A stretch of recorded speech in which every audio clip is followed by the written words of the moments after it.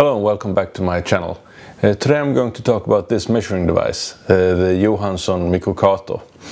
Uh, this was uh, invented by a guy named uh, uh, Abramson in 1938 and is also known as the Abramson's movement. most uh, I've seen are made by the C.E. Johansson company here in Sweden. Uh, you might know about C.E. Johansson, he's the guy who invented gauge blocks. And uh, the C.E. Johansson factory have made a lot of measuring devices, but apparently he did not invent this one. Uh, the Mikrokator uh, can't really be used on its own. Uh, the most common accessory is a stand like this one. Uh, there's also a lot of other uh, different accessories, for example, holders for measuring round stock and uh, a lot of stuff like that. There's also uh, higher stands for measuring bigger things. Here's the Russian Mikrokator that I found on a flea market and you can see here's Russian letters made in the USSR I guess and it also says here uh, Mikrokator in Cyrillic uh, letters.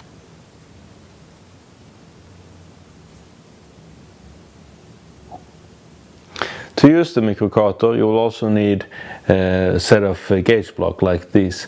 You've probably seen these before. You have different size blocks and by putting these together you can get practically any measurement you want. I brought the camera in so you can get a closer look at the scale and as you can see one division on this micrometer is one thousandth of a millimeter and when I move the fine threaded nut at the base of the stand you can see the hand is moving. I got this block about a week ago and it's supposed to be 20 millimeters thick but uh, I know it's a bit thicker. Uh, it's approximately 20.05 and I'm going to measure this with the Mikrokator to get a precise measurement. So uh, first uh, I take a 10 millimeter gauge block, wipe off the grease and I put it here. Then a 9 millimeter block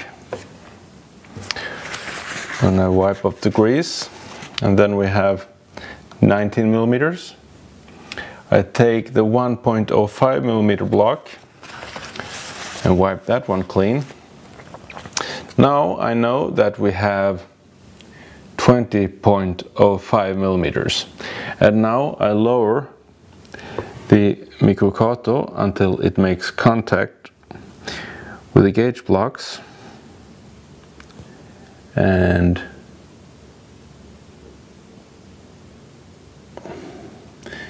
then I crank this screw very fine threaded screw until the needle is at zero. Okay? Then I remove the gauge blocks and I know now that if this is exactly 20.05 millimeters uh, this needle will be at zero okay?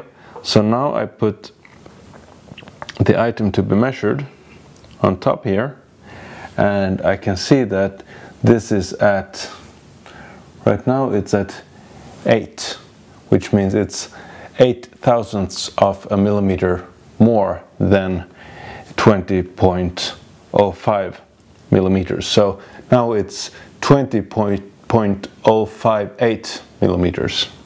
As you've seen, this is a very accurate measuring device. Uh, usually has an accuracy of a thousandth of a millimeter, uh, but uh, it's still a very rugged and reliable tool.